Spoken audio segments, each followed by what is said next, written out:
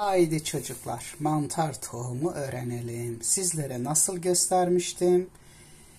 Mısır unu üzerinde mantarımızı e, kök kısmını doğrayarak ilave yaparak mantar tohumu yapmayı göstermiştim.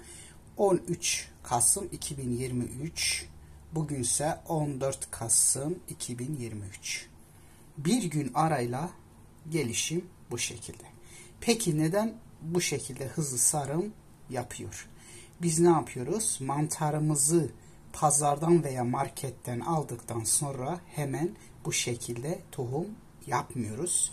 Mantarımızı buzdolabında ya da serin bir yerde 7, 8, 10 güne kadar bekletiyoruz. Nasıl bekletiyoruz? Ağzı kapalı olmayacak şekilde.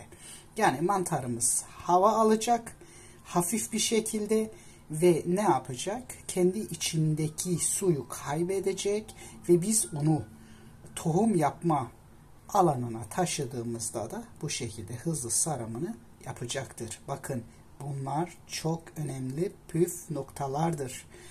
Sizler bunlara dikkat etmeyip farklı yaparsanız yapacağınız çalışmanız başarılı olmayacak. Ama benim gösterdiğim şekilde harfi harfiyen yaptığınızda yüzde yüz tohumunuzu elde edeceksiniz. Hepinize kolay gelsin.